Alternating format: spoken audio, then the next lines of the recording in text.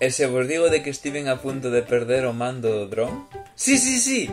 O mando con móvil, non o dron. Porque o normal é que, bueno, cando tes un dron, pois que por algunha razón, a ver, non é normal, pero moita xente perde o dron que vai moi lonxe, desaparece, despois non volve ou algo así, cousas raras, pero non suele pasar. Pero sería o normal perder o dron, non o mando que está contigo. Pero se vos digo que eu casi perdo o mando, que é como vos quedades. Pois sí, isto pasoume onte fun a voar o dron a, a un sitio e era enorme, era unha extensión enorme de erva, enorme, enorme, enorme. E, e deixei o mando no chan porque me puxen con modo active track, no que te sigue. E, e claro, eu puxen a facer as miñas traballadas e de repente digo, ah, é o mando, verdad?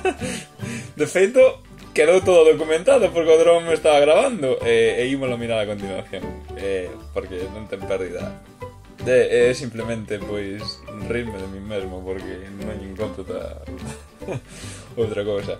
En fin, aquí vemos que estou deixo outro o mando no, no chan e poñeme a facer as miñas mierdas, ta ta ta ta, bla bla bla bla.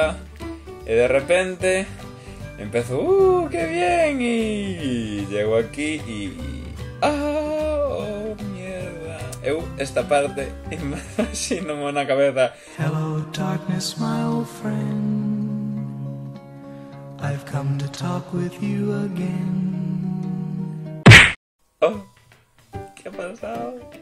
Eu mando, joder, mierda. Wow, wow que percal Obviamente mirades o, o grande que é iso, non? Eu mando a saber onde estaba. E digo, guau, mierda, tal Empeza a dar voltas non sei para onde mirar. no, Adrián Paín no patrón non está. Ufa. E non tiña maneira de localizar o mando, porque o móvil sin cobertura, porque o que uso pa o padrón solo.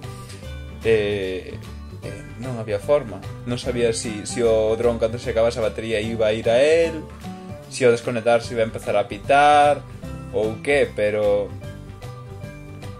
Non sei, foi de milagro atopei no porque mira, ahora que empezo a correr tal, e, ah, aquí está. Pero mirádelo. Eh, en fin. Eu quedei flipando. En fin. Pois nada, non, non teño máis para este vídeo, a verdade é que non tiña nada grabado. Eh, xa que me pasou isto tan gracioso, pois mostro polo para que aprendades que se intentes un, un destes que, que é automático, pois que teñades cuidado con estas cousas. En fin, menos mal que quedou nada. Algún...